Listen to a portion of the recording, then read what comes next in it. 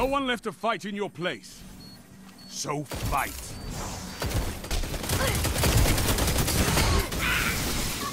Your team has been neutralized.